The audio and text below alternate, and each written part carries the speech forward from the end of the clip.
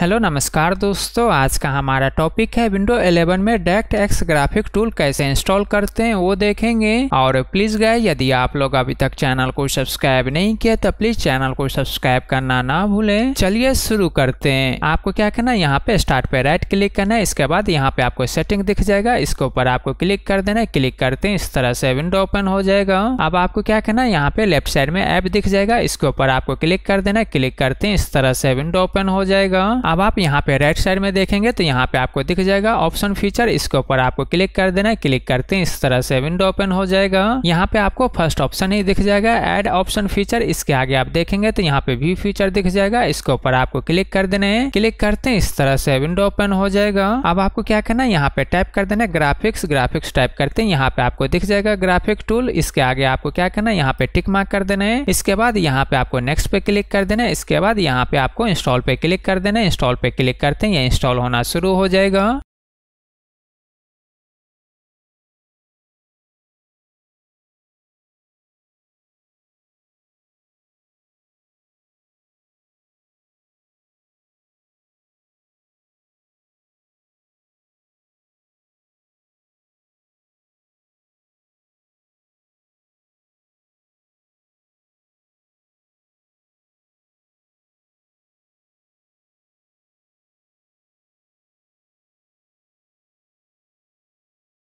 Installation complete होने के बाद यहाँ पे इंस्टॉलर लिखा हुआ आ जाएगा। इसका मतलब ये इंस्टॉल हो चुका है। अब आपको क्या करना है? इस विंडो को यहाँ से क्लोज कर देना है। और प्लीज़ गाय चैनल को सब्सक्राइब करे लाइक करे शेयर करे। Thank you